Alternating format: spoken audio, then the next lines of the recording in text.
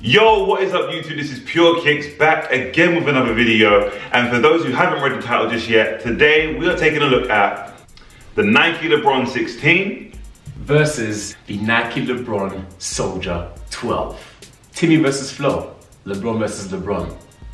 Let's get it.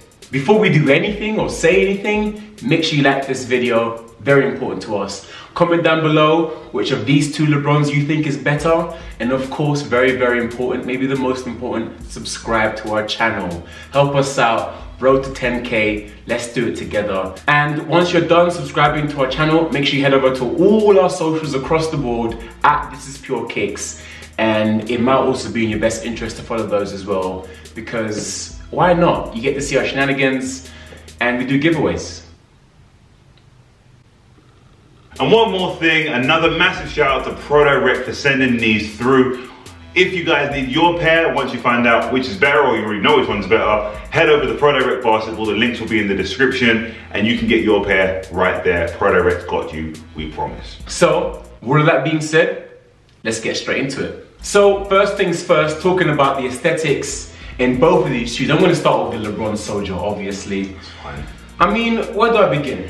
I mean, just look at it. It looks like it will take care of you. Mm, Do you know what I mean? No, Sometimes we rave about which shoe is the best looking. Does it look like it will do the job? No. Do you know what I mean? And that is what you want from a basketball shoe. You want the shoe to look like it will do the job. And this shoe looks like it will do the job. The job being absolute lockdown support. That is what the LeBron Soldier 12 looks like. That is what it does. It does what it says on the tin. Said no one ever. However, the LeBron 16 is so clean. You know this, Flo. Oh my goodness. Talking all that good stuff, the LeBron 16 Oh. goes hard. Oh my goodness. Now, I will say, I said it in the performance review as well, KD-esque. We don't mean to bring that into the video too tough, but man. KD-esque goes hard. Okay, and it, It's buff. It doesn't help that you're holding low key the waviest colorway I've ever seen in my life. 2020, baby. It's It is 2020. Sweet. 2020 vision. Flying Bad boy colorway. Flying it. Ha! yeah. Yeah, the point goes to LeBron 16. Thank you. So next up, moving on to the traction. Now here in the LeBron 16, we have that racetrack herringbone, which we also have over in the Soldier as well. We do. It goes hard. Over here, it goes hard. That's what I'm saying. I know it goes hard. It goes extremely hard because it is a great traction pattern, and LeBron has been known for good traction anyway. So the racetrack herringbone was consistent across many different courts, dusty and even super clean as it always is as well. Super, super consistent. A great compound. Loved it. Absolutely banged. 100%. Which one's better, though, to me? They're the same. Which one's better? Let's it first. You know damn well that that one's better, yeah, but I'm say it out loud. I'm trying to embarrass me on the camera. Oh, okay. Timmy, could you, if you could just say that out loud again. Listen, listen, down, listen Yeah. to me. Mhm. You know damn well that shoe's better, but for some reason you want to make me try and embarrass me out here. Okay, cool. You know damn well that's the better direction. This is the So better direction. yeah. Go along with what we said. Alright, cool. Talking about script changing earlier. I know the script. You do yours. I've done mine. Stop trying to embarrass Cool. me. Alright, cool. Thank you very much. So the point goes to the LeBron Soldier. That's what you're saying. The goes to LeBron Soldier. The reason why the LeBron Soldier traction is better is that I think the grooves being a bit tighter helps the traction I hear the that. hair. Just a tad. No, I hear that. Just a tad. It was buff. I, I, I felt the same way. It's a strong traction pattern. Yeah. I feel like the closer gaps would, in normal cases, mm-hmm. mean more dust, but it didn't. but it wasn't the case. The Yeah. design of it, the design of the racetrack herringbone, which they've used in both, just did the absolute trick. Yeah. And it kind of smacked things over on that side. So the point goes to the LeBron Soldier. Be happy. Moving on up to cushioning to me. And now we talk about one of my favorite aspects of the LeBron Soldier 12. Okay. I hear that. We have forefoot and heel zoom. It's not quite full length, No, but we'll take it. we did. And in the LeBron Soldier 12, we have this amazingly large bottom loaded zoom unit in the It hard. forefoot. Yeah. I And a thick zoom unit in the heel. Yeah. I mean, it feels incredible, doesn't it, Tim? It does feels feel really nice. absolutely amazing. No, I agree. I mean, there aren't many cushioning systems that feel quite the same as the LeBron Soldier 12. the protection was covered. I mean, court feel was there. Yeah. I mean, That's great. everything is everything is covered really. I mean, I can't think of many LeBron shoes that are better cushion wise than the LeBron 12 because the cushioning in the shoe was insane. So good, such good cushioning. Wow, you're making a whole lot of noise over there. I don't know. You're Ah! trying to beef or something. Alright, go on. You're talking so much on that side, talk to them. like there's not Air Zoom Max on this side. Are you moving mad? I don't know why you said Max so loud. I have to, because it's max.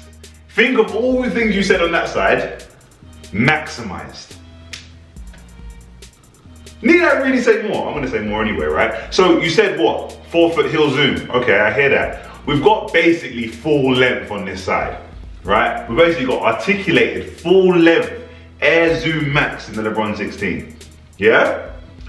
Anything you can think of in the Soldier, we've got in the 16 maximized. It's articulated, making it feel almost like the couple zoom. So it's getting all the good benefits, but it's still full length, so you feel it pretty much everywhere. Inbred protection goes hard in the heel as it should do. Coverage in the forefoot is a mentalness. Coverage everywhere is hot. Just stop. This sauce loud. You're talking a madness a second ago. You got very quiet all of a sudden. That's crazy. Alright, cool. That's so crazy. Just let me know the point goes to, please. I just think it's crazy. I mean, I, we, I think that they know the point. Come on, I ain't gonna really much. I'm just saying that's crazy. He was he was talking a hell of a lot a second ago, and then you go got hella quiet. That's crazy. That's crazy. Now, next up, talking about materials. Now, here in the LeBron 16, we see a full Flyknit construction with a synthetic material tongue, which is known to do a madness. Yep. It's supposed to do a madness. Yep. It's known for doing a madness. Yep. Flyknit went hard. This is definitely, I wouldn't go as far as true Flyknit because it's not a full Flyknit construction. It is backed up by some nylon and more synthetics on the inside for good reason. Super comfortable, super lightweight as well. Did its absolute trick. Super happy with it. Flexible, even at the same time, still quite supportive. LeBron 16 did the madness. Uh, okay. Obviously, I'm Team LeBron Soldier 12, I hear that. but I can't lie to you. We weren't too happy with the materials in LeBron Soldier 12. We weren't too happy with them. Take him back. I mean, we love the fact that we have this leather toe box Mm. and obviously this mesh construction throughout the shoe, but it's just way too much leather in the toe I agree. area. Um, performance wise, obviously it adds the weight a little bit Mm. and it makes it a bit harder for it to break in. It's not as fast when it comes to breaking as the LeBron 16. Definitely. And it's ugly to look at, man. Especially when it creases. You don't want to look at creases when you're balling. Do you know It's I true. mean? You don't want that. Save that for the Air Force. Do you know what I mean? an Air Force Yeah, thing. man. That's an Air Force thing. Like, that, it's I love the fact that you know it's these shoes companies that they're paying homage to old school materials That's cool. add touches of leather throughout Yeah. the shoe. But I think the LeBron Soldier 12 had a bit too much leather in maybe one of the most important areas because you're looking down and you're seeing creases.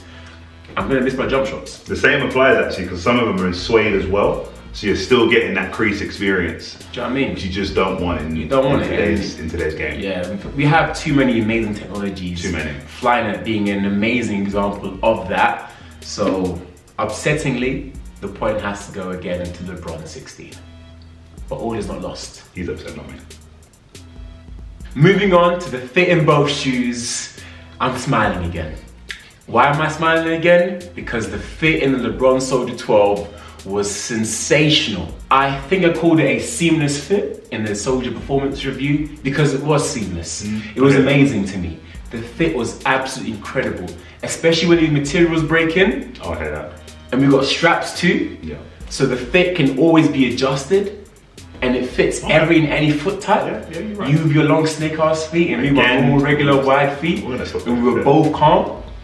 We were both calm. Yes, we were. Do you know what I mean? I mean, there's not too many things I can say about the shoe. The shoe smacked it when it came to I fit, man. I do hear that. It smacked it. I do hear that. It smacked it. I hear that. What are you saying about the LeBron 16s? What I'm saying about LeBron 16s, it's a good fitting shoe. it's a good fitting shoe. Yep. My biggest problem with them is there was a lot of dead space. Mm. Toe box and ankle like area. Yeah. Right? Why? I believe LeBron just has a really big foot. Extremely. Ankle and everything else to do with LeBron, I guess. There's a gusset fit which does extend the tongue, which gives you more space to allow your foot to go inside, which is great and it does the absolute trick. But when it kind of comes back, there's still a lot of space around the ankle area, and I do think the shoe fits a tiny bit long. Yeah, Problem solver, I had to double sock the thing. fair enough. Two socks, felt much better, but you shouldn't have to when we're talking fit. You shouldn't have to. It's a bit of a, it's a bit of a letdown. Uh, so I guess the point goes to the LeBron Soldier 12. Cool. Cool. Yeah, cool. I like that. So next up, talking about support. Now, I'm not looking at him right now. I'm going to look at him. So I know damn well he's smiling right now. When I say him, I'm talking about Flo. He's, he's looking at me, isn't he? He's fully looking at me. You see, I told you, I knew he was looking at me and smiling. Support, baby. Can I talk, please? I do your thing, man. Yeah? Supporting the LeBron soldier. See, look at me. That's what I'm saying. Because the support in this shoe is that good. It made me mess up the whole It thing. made you mess up. Let me go in. Go in. How about that? The LeBron Soldier 12 support is incredible. Absolutely incredible. So good. Maybe one of the most supported shoes of the year. Yeah. i.e. 2018. I am mad at that. So good. Once you're locked in and you're strapped in, the support is amazing. No. So good. No, I'm with that. I don't know what you can really say about the 16s, but I'll hear it anyway. I'll humor you. Humor me. The man said he will humor me. I'll humor you. Oh my god. Anyway, LeBron 16 was good support. As it's supposed to be when talking to LeBron's shoe. Maybe not as ex- expected as we'd like it to be. Maybe, I don't think, long story short, it wasn't soldier levels. It was really coming from the fit, the dead space takes away from support, it does. The lacing system itself is part of that fit as well, which I did mention earlier, but it's also kind of missing. It's not the greatest of lacing systems. Again, that dead space isn't rectified by the laces. And I wouldn't even go as far as the outrigger, and it's really quite, it's quite a high cushioning system. It's very high. I didn't mention that earlier because I had no reason to really. But now that we're here, and things such as the outrigger, plus the kind of high off the ground cushioning system, court feel isn't there, which does sometimes make you feel like you're a little high up, and then that kind of motion can happen. Which doesn't doesn't happen here, by the way. Just thought I'd throw it in there. Didn't throw it in there. I, I, I wanted to throw it in there. It's not about once, like it's not about once. So I guess the point goes to LeBron Soldier 12 once again. Right to me? Right. Cool. Last and most certainly not least, talking about the price in both of these shoes. Now, this is obviously the tiebreaker. Yep. However, this tiebreaker is no-brainer. This is a no-brainer to me. The LeBron 16 is priced at, now it, it hurts me to say this number out loud, but I'm going to anyway. You got this. The LeBron 16 is priced at 165 pounds. You good? Okay, cool, nothing happened. Alright, cool. No, I'm fine. I'm fine. I'm fine. You good? Cool, everything's good. Okay. That number, right? I'm not gonna say I'm not gonna risk it and say it again, but that number, remember that number. 120 pound for the LeBron Soldier 12. Cool. Now, clearly the point goes to LeBron Soldier 12. I don't know about clearly. Chill. Just But, but, but, but, listen to me, listen Chill to me, to me, clearly. listen to me. Chill clearly. I personally don't believe that any shoe should be priced over hundred pound, basketball wise. Alright? Because I think a hundred pound for a basketball sneaker is expensive in its own. Alright? Mm. A hundred and twenty pound is very expensive. Alright? A hundred and sixty-five pounds! Are you dumb? What are you talking about? Fact, you know what? Hold on. Here's what we're talking about, right? Let's not forget this is price slash value, not just the number. Nah, man. What do you mean, nah, man? There's certain price. There's certain price points out Ah, there that just throw value out the window, innit? There are, no, there are. There's nothing that this basketball shoe can do for me that is worth 165 pound that no other basketball shoe can do for me. For example, this shoe does pretty much everything that this shoe can do for me. However, this shoe is priced 40 pounds less than that shoe. Has he 45? But anyway, I don't want to. I didn't want to even get into that too tough. It is actually 45. Ah, okay. You say what you what you want to say, innit? Ah, I ain't, I ain't got nothing. Nah, I got nothing. Thought so. Yeah, I, yeah, I got nothing. And the point goes to the LeBron Soldier 12 once again. Three in a row. Three in a row. Would you look at that? Oh, you burning, huh? Oh, you mad, bro? You mad? you mad? Three in a row. Gang, gang. LeBron Soldier for life. What are you saying?